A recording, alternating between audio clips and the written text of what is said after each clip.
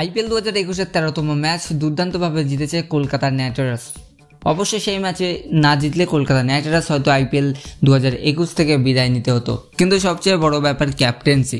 এবং ক্যাপ্টেন্সি এই ম্যাচে অবশ্যই কলকাতা নাইট রাইডার্সের সত্যি কথা বলতে আপনারা হয়তো দেখেছেন, আবার কেউ নোটিস করেননি।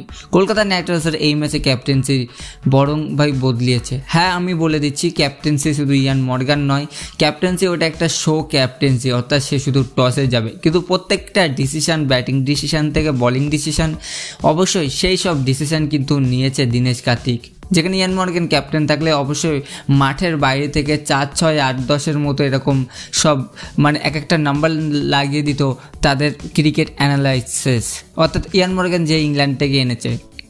কিন্তু আপনাদেরকে জানিয়ে দেয় কালকের ম্যাচে কিন্তু এরকমটা দেখানো হয়নি। আর সব থেকে বড় কথা, কালকের ম্যাচে কিন্তু কলকাতা নাইট রাইডার্সের অ্যাগ্রেসিভ ফিল্ডিং করেছে। আর দীনেশ কার্তিক কিন্তু অবশ্যই প্রত্যেকটা মিনিটে মিনিটে তিনি আপডেট অর্থাৎ অ্যাগ্রেসিভ সমস্ত প্লেয়ারদের কিন্তু মনে উত্তেজনা এনে দিয়েছিল। ভারতীয় টি টোয়েন্টি লিগে এখনই মাই ইলেভেন সার্কেলে খেলুন তার কারণ এখানে চ্যাম্পিয়ন্সদের সাথে খেলতে পারবেন। যেমন রাশিদ খান সৌরভ গাঙ্গুলি বিবেশ লক্ষ্মণ আজিঙ্কে রানে।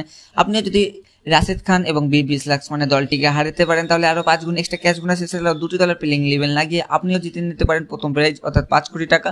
ওয়েলকাম বোনাস হিসেবে আরও দেড় হাজার টাকা পেয়ে যাবেন। এছাড়া ফার্স্ট ডিপোজিটে আরও কুড়ি পার্সেন্ট এক্সট্রা পেয়ে যাবেন।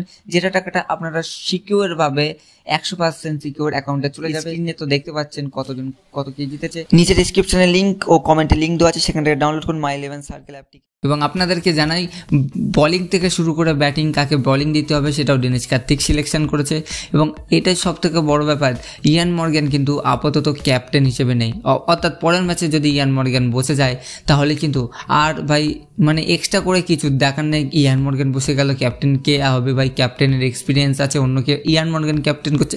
এরকম করে অনেক ধরনের কথা উঠবে, কিন্তু সব কথা মিলিয়ে আমি একটা কথা বলে দিচ্ছি, মাঠে অবশ্যই দীনেশ কার্তিকই ক্যাপ্টেন দীনেশ কার্তিকই এক হাতে ম্যাচ ঘোরাচ্ছে, কাকে কখন বল দিতে হবে সেটাই করছে এবং দীনেশ কার্তিকের জন্য কিন্তু কালকে টিম সিলেকশনটা হয়েছে। আপনাদেরকে এটাই জানাচ্ছি, তো ইয়ান মর্গান যেহেতু ক্যাপ্টেন্সিতে ফর্মে নেই, অবশ্যই দীনেশ কার্তিক একাই দেখছে, এটা আপনাদেরকে জানাচ্ছি আর পরের ম্যাচে যদি ইয়ান মর্গানকে দলে না দেখা যায়, তাহলে ভাই এটা আলাদা করে চমকিত হওয়ার কিছুই নেই। তো ভিডিওটি কেমন লাগল অবশ্যই নিচে কমেন্টে জানান, ভিডিও ভালো লাগলে লাইক কমেন্ট শেয়ার সাথে সাবস্ক্রাইব করুন।